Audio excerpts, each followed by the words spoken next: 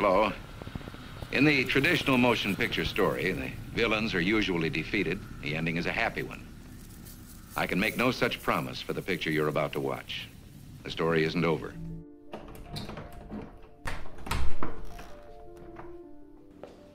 I'm about to tell you about a little known dark part of Canadian history involving vile crimes committed against many people, including children, as well as a massive government cover up.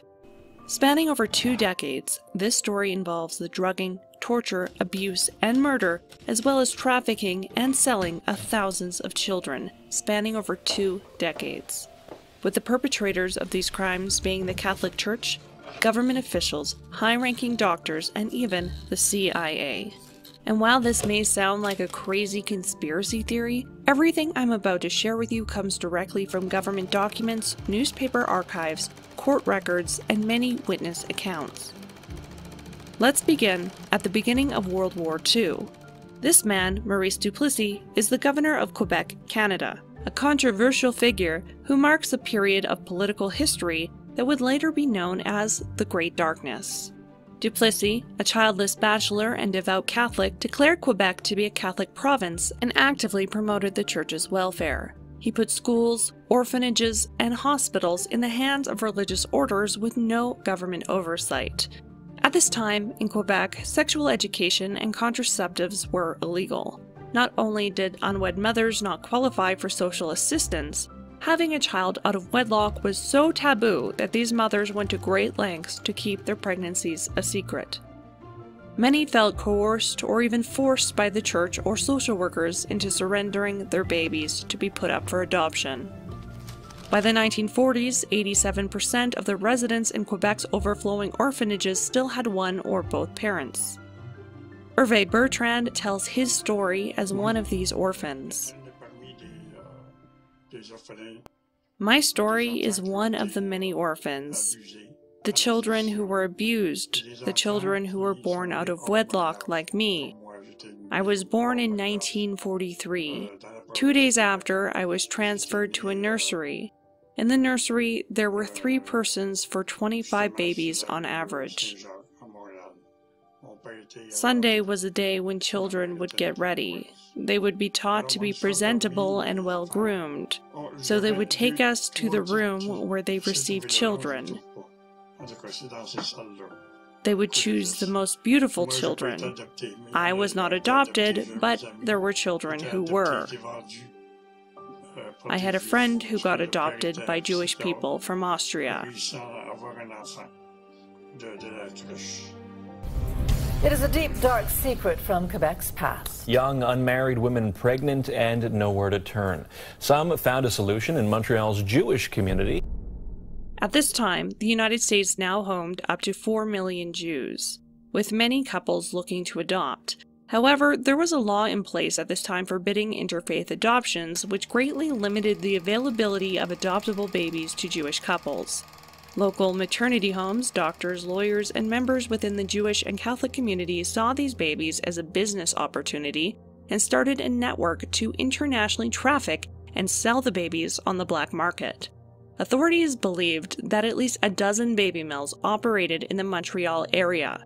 Representatives of the baby market ring and maternity homes approached expectant mothers several months before the babies were due paying them up to $40 for their babies, or in many cases, nothing at all, only to turn around and sell these babies on the black market for up to $10,000, or roughly equivalent to $100,000 today.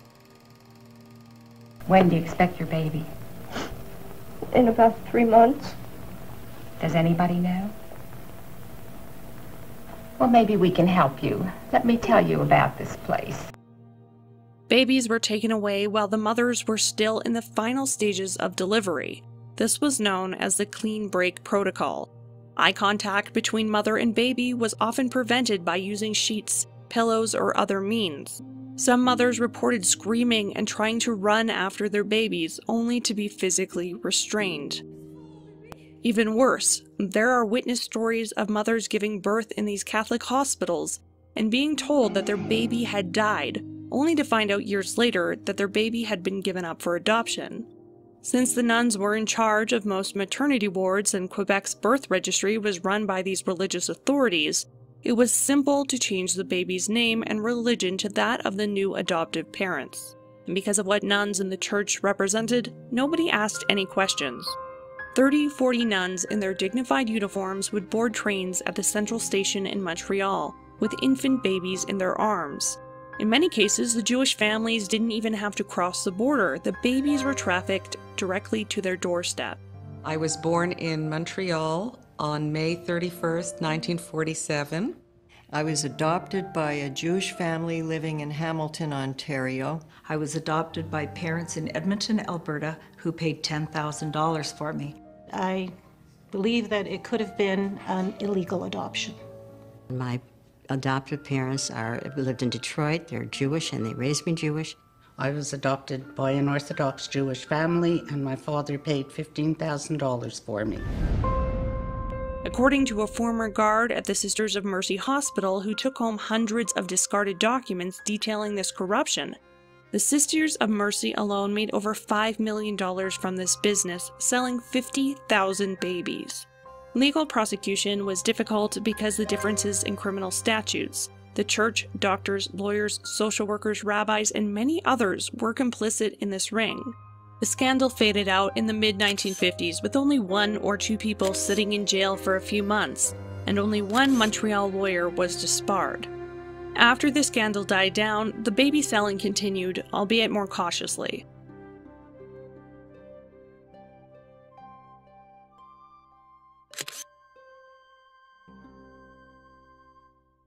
Today, with easily accessible commercial DNA tests, many of these adoptees are finding out that they're actually French Canadian.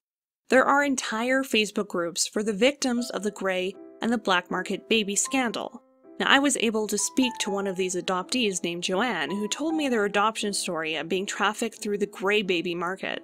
Unlike the illegal black market, this was something that was legally ambiguous at the time, I was born in Montreal, Canada on January 18, 1957. My, my adoptive mother became uh, very ill and had her uterus taken out and they tried to go to uh, to social services which they did but they were turned down they then went back to the doctor that had that had goofed up the operation and he said well he could try and help them since they were turned down by the social services and try to go the other way around, which is what we call the gray baby market. Um, and that's done between two doctors and a lawyer. That's where my mom came in, and that's where I came in. And yeah, they arranged they arranged the adoption.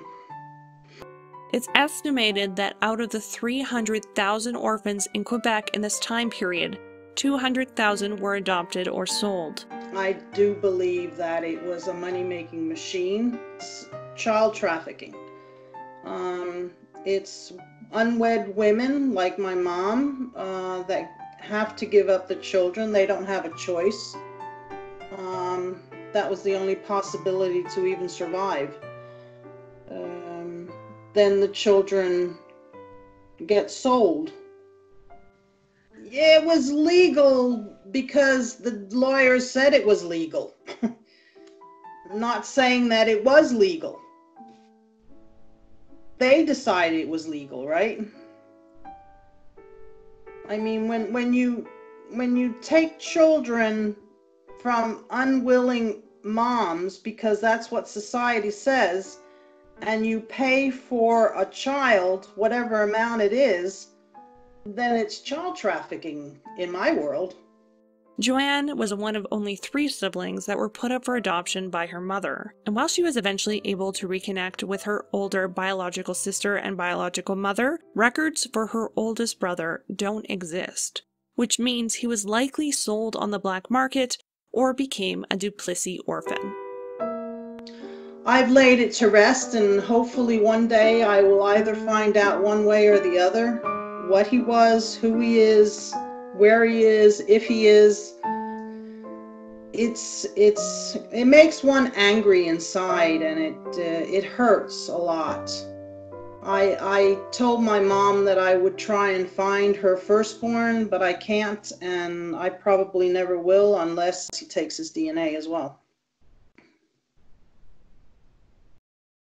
More and more people are coming forward in Quebec claiming they were abused as children while they were wards of the government.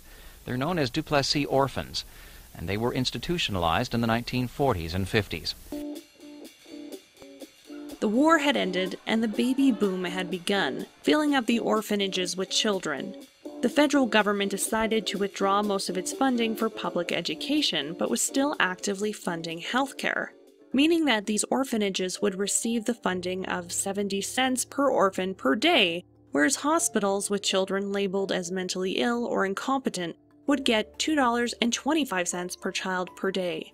So, in order to get more federal funding, the Quebec government advised the Catholic institutions to change the facility's vocation to asylum in order to benefit from the federal funding. Catholic religious groups received $70 million in subsidies by claiming that the orphans were mentally ill. And overnight, many of these schools transformed into psychiatric hospitals or these children were shipped away. From one day to the next, the rooms became cells, the windows had bars, the books were thrown into the trash and medical records were falsified, giving the orphans false medical diagnosis without any assessments. Now that these children held labels, they no longer required education and could be used as slave labor. The state had stopped funding. Around March 18, 1954, the genocide began. The children were sent to a slaughterhouse. After this, children were labeled mentally handicapped. Every room was equipped with locked doors, every room had cells, and if the children were not obedient, there was a straitjacket in each cell. I felt more lonely than ever. I was scared and wondering what would happen to us. Then every child had to work. Instead of going to school, children would work to help the hospital. It was slave work that saved money in Quebec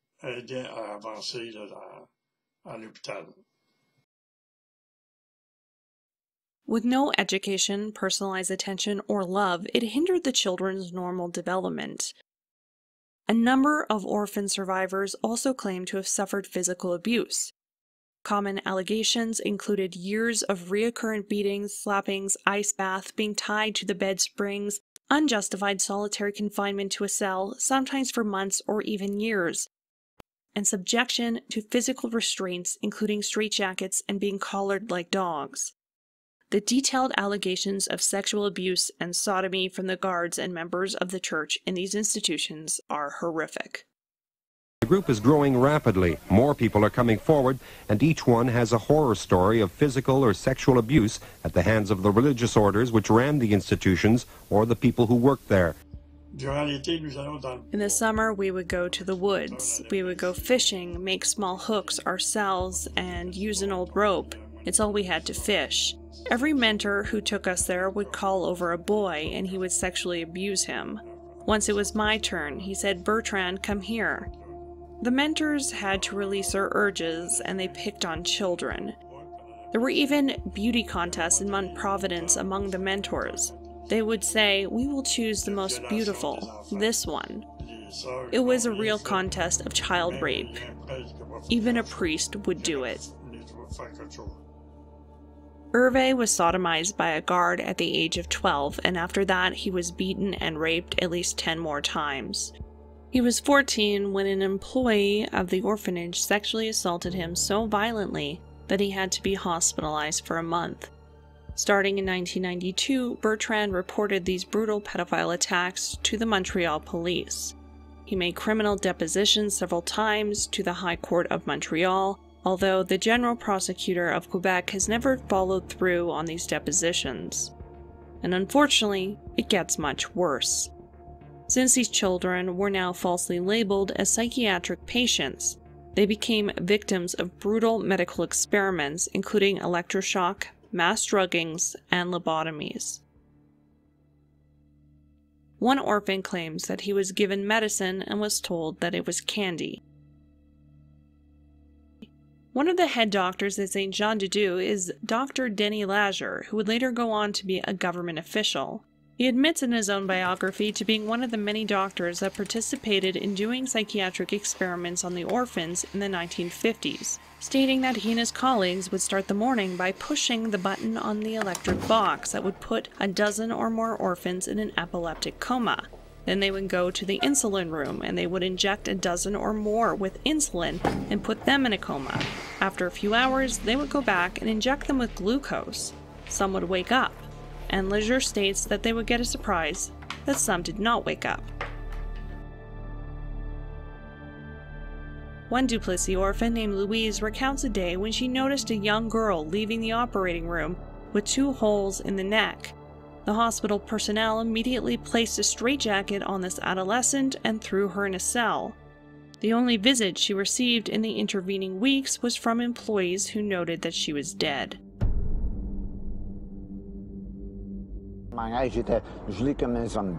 They drugged me till I was a frozen zombie, he says. Then they cut up my brain.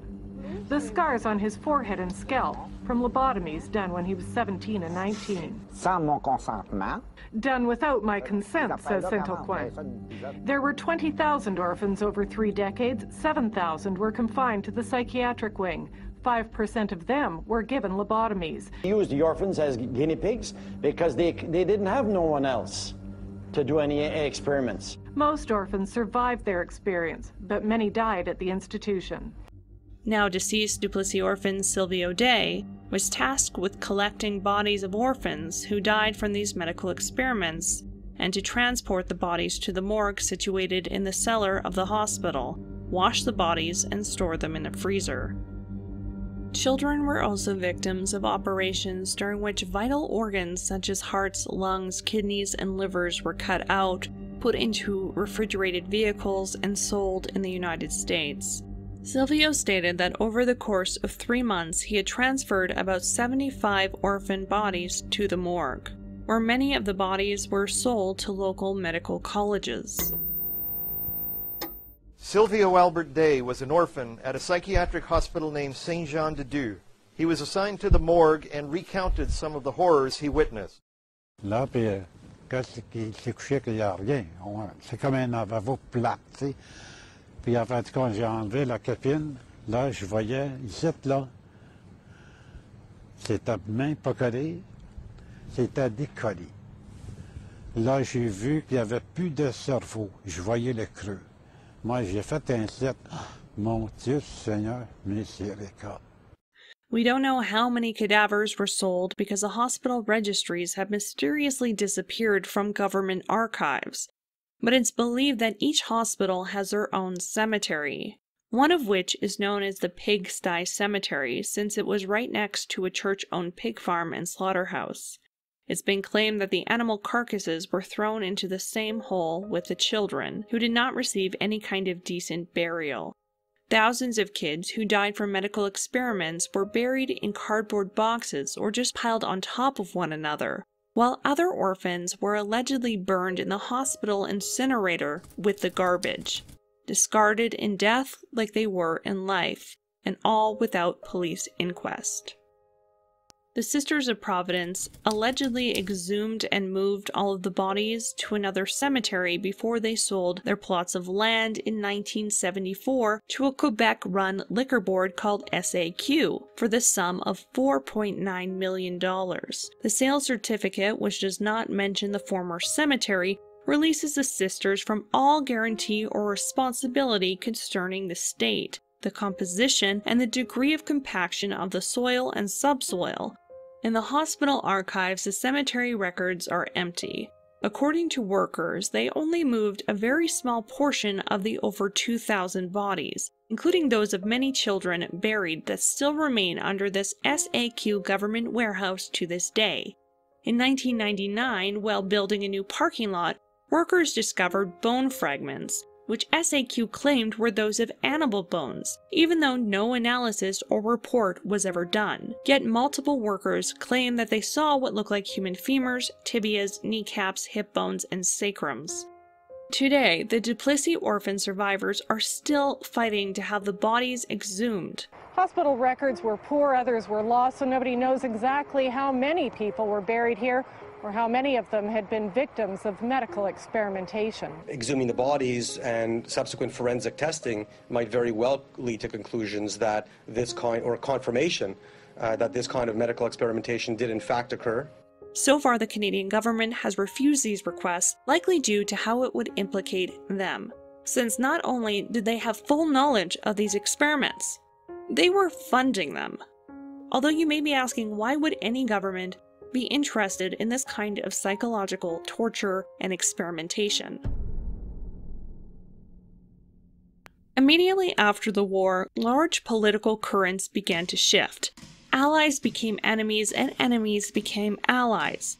In the United States, the new Cold War against communism brought with it new fears. Both America and the Soviets knew that Germany had many superior technologies that had nearly won them the war. Due to the looming threat that the other country may gain a competitive edge, there was nothing more precious than the German scientists and the intelligence officers that headed the Nazi war machine. And thus began Operation Paperclip, a secret program in which nearly 1,600 German scientists, engineers, and doctors were taken from Germany to America, Canada, and Britain for government employment. This included convicted Nazi war criminals, some of which would eventually go on to hold the highest clearance at the Pentagon. These countries knew that Germany was only progressing in many aspects of medical science because of their experimentation on prisoners and in concentration camps. They were able to push medical science in a manner that cannot be pushed if you're experimenting on rabbits and guinea pigs. So, in the name of national security, the same atrocities that these doctors were hung for after the Nuremberg trials now became justified in North America.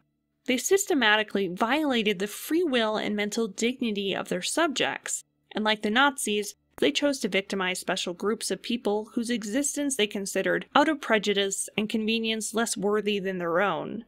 In fact, both Duplessis orphans and MK Ultra victims identified Nazi doctor Josef Mengele, also known in Auschwitz as Dr. Death, as carrying out experiments on them in Montreal. And while it's unconfirmed if Josef Mengele was actually in Canada during this time period, it was revealed that in 1962, Mengele, using an alias, applied for a visa to Canada, although whether or not he made it there or had been there before is unknown. However, some believe that these photos from a Montreal psychiatric hospital are of the Nazi doctor. Mengele would have been at the scene, uh, Saint Jean de Dieu Hospital. He was seen there.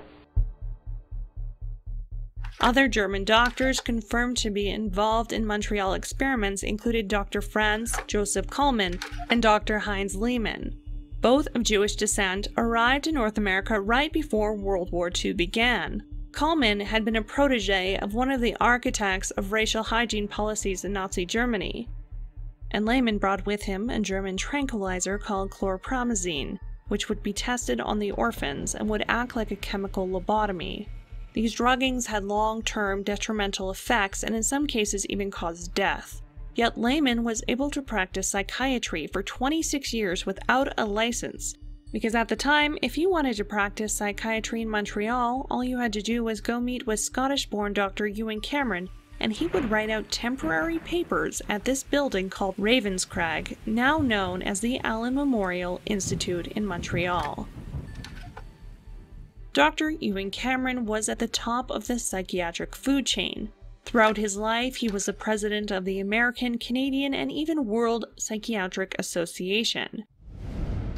A few moments ago, Dr. Ewen Cameron of Montreal, chairman of the organizing committee, opened this third World Congress of Psychiatry with these words. These are the days and hours are the occasions that summon up determination, fire the imagination, and drive us forward in this greatest of endeavors. Cameron and Lehmann received many awards for their horrifying experiments. They also appeared to have been operating a eugenics program out of Montreal and McGill University, all while receiving funding from the Canadian military, the Rockefeller Foundation, the Ford Foundation, the OSS, that would later become the CIA. By far, the most chilling experiments we have uncovered took place at this Gothic estate called Ravenscrag, halfway up Mount Royal in Montreal. It houses the Allen Memorial Institute of Psychiatry of McGill University. It was here that the CIA funded a series of experiments, severe experiments. The work was done by the Institute's then director, Dr. Ewen Cameron. It is the closest experimentation to brainwashing yet disclosed. In 1951, Allen Dulles was appointed the head of the CIA, and shortly after, he began the battle for the minds of men to counter so called Soviet brainwashing by dabbling in secret mind control operations. Americans, they have too many freedoms. That is another thing you must remember, comrade. For one day it will be your mission to destroy those bourgeois capitalist freedoms. One of the goals was to erase selective memories, so that those taken prisoner would not be able to divulge any confidential information to the enemy.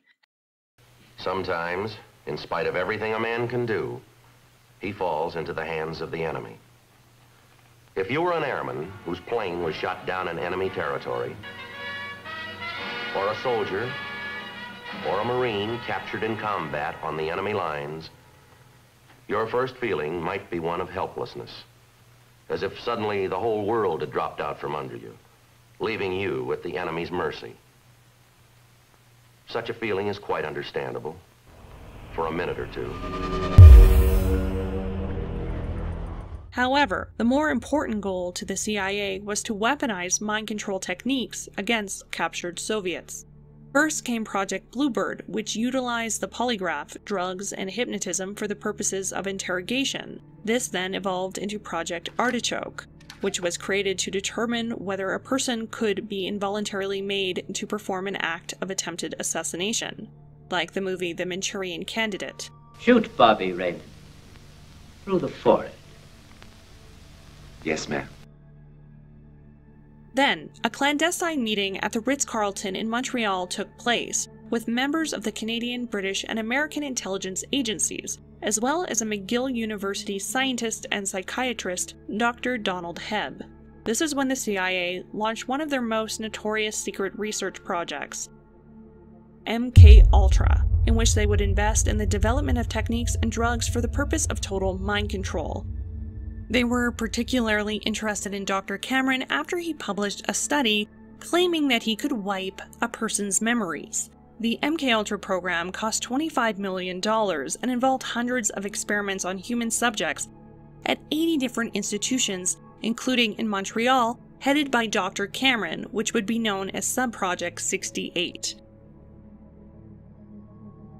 Among the victims of this new breed of experimentation were prisoners, military soldiers, civilians, hospital patients, and even children, including Duplessis orphans. Since their medical records were already falsified, and because they had no family to ask questions, they were the perfect victims. The patients did not consent to the treatment and were never told that they were being used for research including Anne Diamond, who believes that her, her twin brother, and her father, who was an intelligence officer, may have all been victims of Dr. Cameron.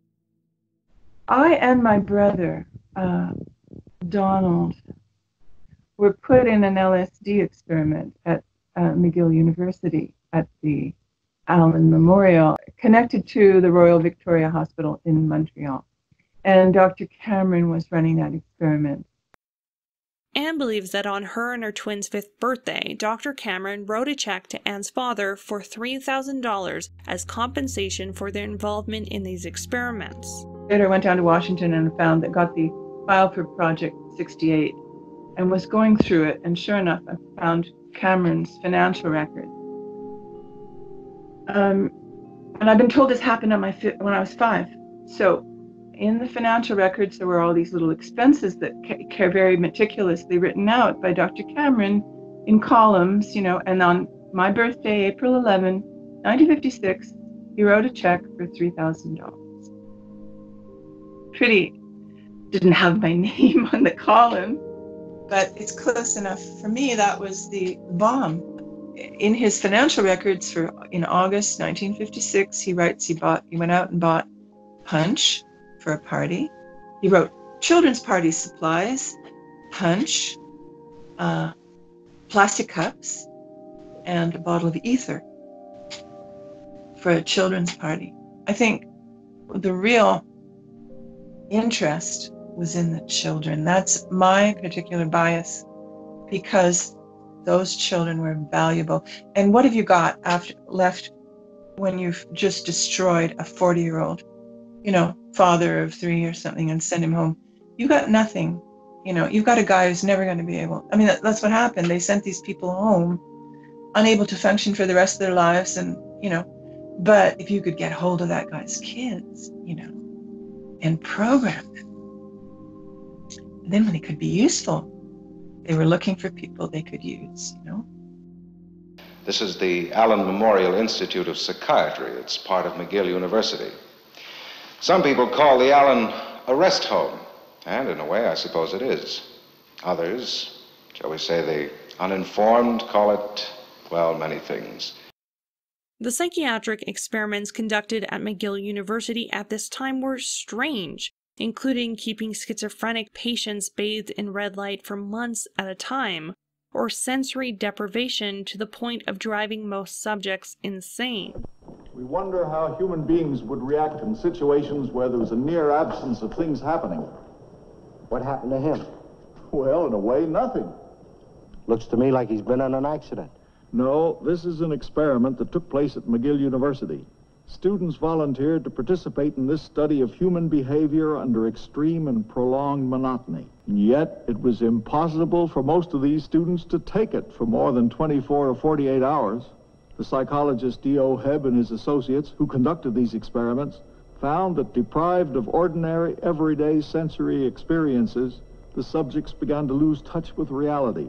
The sensory deprivation experiment was noted to cause the subject's identity to disintegrate, and many began to hallucinate within just 48 hours. They also found that by putting a person into this state, it made them highly suggestible with long term lasting effects, making it the perfect foundation for brainwashing. Cameron added on to just sensory deprivation, with the combination of intensive electroshock, barbiturate induced comas, and megadoses of hallucinogenic drugs like LSD. This combination left patients dazed and confused, incontinent, and often in a state of utter panic, increasing the intensity until there was a complete personality breakdown and they were empty shells, in some cases to that of a newborn baby. This was referred to by Cameron as depatterning. Once the person's identity was gone, Cameron would attempt to replace it with a technique he termed psychic driving, by forcing the unwitting subject to listen to looped recorded messages on repeat for days, weeks, or months.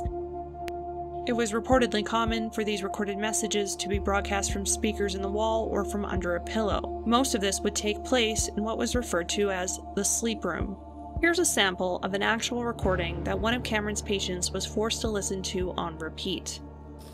You can get along with you are not afraid of others, and you are very pleased to be with them. And your relationship with people, you are an adult to accept the responsibilities of a wife and a mother. And your relationship with you people, can you are you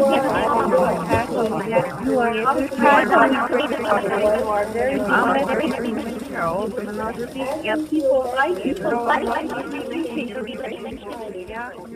Ironically, Cameron was selected to diagnose Nazi figure Rudolf Hess during the Nuremberg trials, a man who claimed to have lost all of his memories.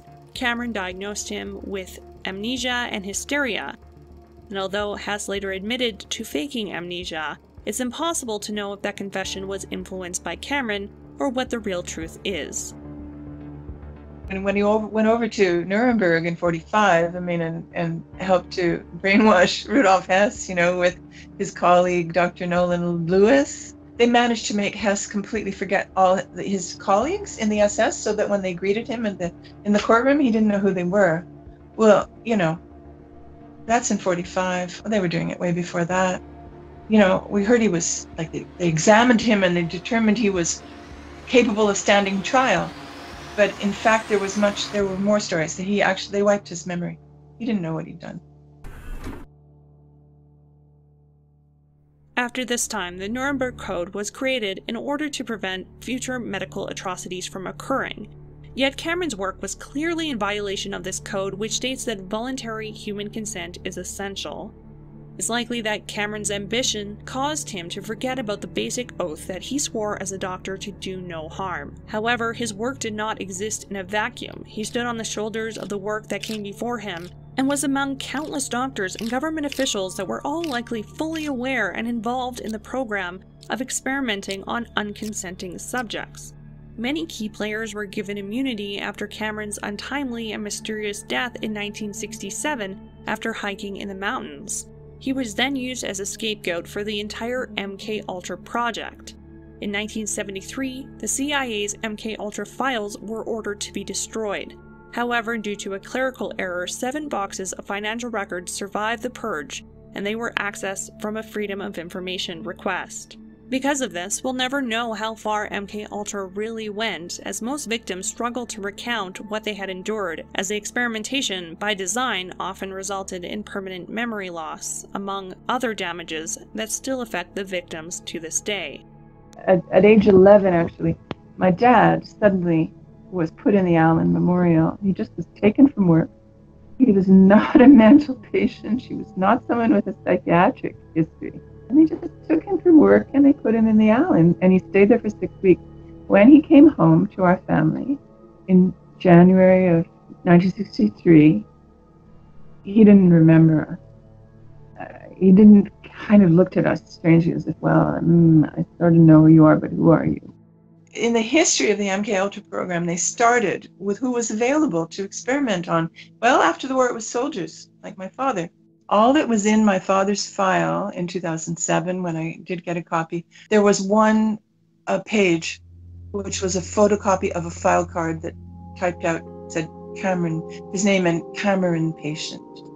So I think, yeah, what that just indicates is there was a period of time where they were labeling, making file cards, notify who are the Cameron patients, here the here's the card file you know and then eventually we will empty these files and make sure that you know the contents never get in the hands of a, a relative or a lawyer in the process of my research, I reached out via email and phone to dozens of government officials for statements about these atrocities, yet I received very little to no helpful responses.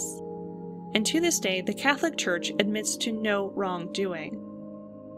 Roman Catholic Church officials in Quebec say they will not apologize to a group known as the Duplessis Orphans. The orphans allege they were mistreated as wards of the church several decades ago. The province's Assembly of Bishops says the church was not responsible for the abuse and therefore it does not owe an apology. While the Catholic Church and government bodies say that the orphans' claims were unfounded, Several different court documents all include similar counts of abuse, including isolation, druggings, sleep deprivation, and repeated sexual abuse. Hervé still not received true justice for what he went through. Joanne has still not been able to track down her older brother, whose existence has no record.